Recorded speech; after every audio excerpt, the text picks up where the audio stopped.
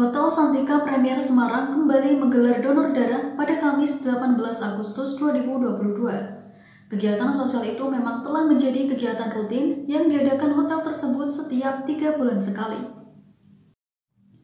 General Manager Hotel Santika Premier Semarang, Agus Yatna menjelaskan, donor darah tersebut digelar dalam rangka ikut memeriahkan hari ulang tahun ke-77 Republik Indonesia. Selain itu, acara yang digelar di ruang premier tersebut merupakan salah satu rangkaian acara untuk memperingati hari ulang tahun ke-32 Hotel Santika Premier Semarang.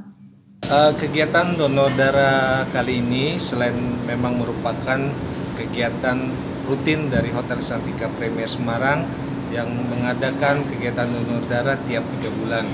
Di tahun 2022 ini kegiatan yang ketiga.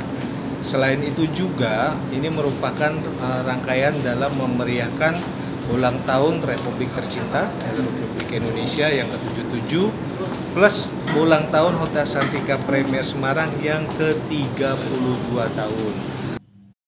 Terlihat, lokasi donor darah ramai oleh pendonor yang berasal dari berbagai daerah di Semarang. Salah satu pendonor asal Semarang, Septaya, mengapresiasi kegiatan donor darah yang dilakukan Hotel Santika Premier Semarang tahu kegiatan donor darah ini dari mana?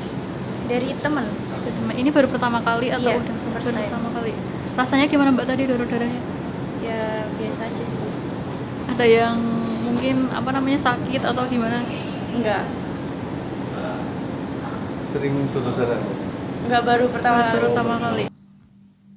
Siti Muyasaro melaporkan dari Kota Semarang, Jawa Tengah.